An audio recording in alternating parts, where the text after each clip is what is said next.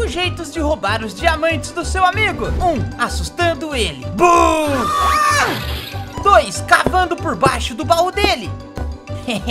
Vou roubar tudo. Por que, que tem um ferro aqui? Se fingindo de morto. Lopers, ai, eu gostava tanto dele, Lopers.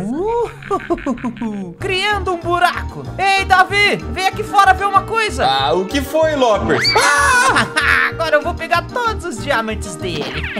5. Virando um porco. Que porco é esse aqui na minha casa? Que estranho. Só eu abrir o baú e correr. O quê? É você, Lopers? Ai, volta aqui com meus diamantes.